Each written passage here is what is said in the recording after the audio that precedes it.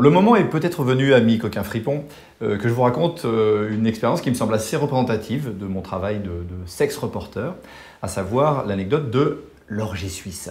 Donc, représentez-vous la scène, je suis au bord du lac Léman, une grande ville à Cossu.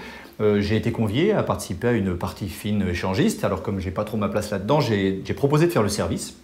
Donc j'étais en livrée, en train de, déambuler au milieu des, des, convives avec mes flûtes de champagne que je proposais aux uns et aux autres. Il y avait une, une quarantaine de personnes, tous à poil, avec quelques décorations de Noël en plus, parce que c'était l'époque qui voulait ça. Et puis donc moi j'en profitais euh, pour regarder ce qui se passait, poser des questions, aller à un moment donné voir des gens en train juste de discuter autour de petits fours, donc j'étais un peu déçu. Et après aller du côté de ce que j'appellerais vraiment le bésodrome, où là ça allait dans tous les sens, j'avais l'impression que, mes yeux étaient saturés de, formes qui se... c'était un peu compliqué à, décrire.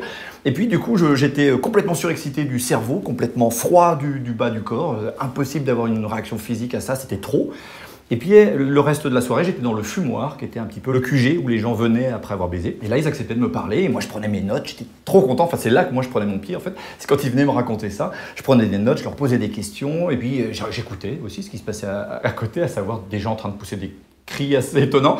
Et à la fin, quand les gens avaient fini, ils partaient, d'autres arrivaient, et j'ai fait une, comme ça une collecte hallucinante d'herbes folles, si je devais reprendre un petit peu cette expression qui m'est chère, pour l'herbe sauvage. Alors mes amis me demandent souvent qu'est-ce que je ressens pendant les entretiens? Et il y en a qui me demandent si je, suis si je suis pas surexcité pendant qu'on me parle, ou je cite l'un d'entre eux, si je n'ai pas les couilles à la plancha. L'expression est assez imagée. Euh, et en fait, la vérité, elle est un peu entre les deux, parce que c'est vrai que je suis à la fois... Euh, complètement dans l'entretien, dans l'échange, et donc dans ces cas-là, c'est pas ambigu, euh, mais c'est troublant, c'est touchant, parce que les gens me, livrent quelque chose d'eux-mêmes, de leur intimité, je trouve ça super. Moi, je partage avec eux, je leur raconte des souvenirs, c'est un dialogue. Et puis, il peut arriver, effectivement, des fois que je sois quand même vraiment troublé. C'est arrivé une fois avec un couple, ils étaient venus tous les deux pour faire une session de cartes de tarot, et puis, euh, à la question « votre première fois », ils m'ont raconté leur première fois ensemble, avec force détail. Au point qu'à la fin de l'entretien, très honnêtement, j'avais eu l'impression d'avoir vécu euh, mon premier plan à trois. Donc je suis sorti de là, j'ai respiré un grand coup, je les ai félicités, et puis je suis allé voir une exposition d'art contemporain.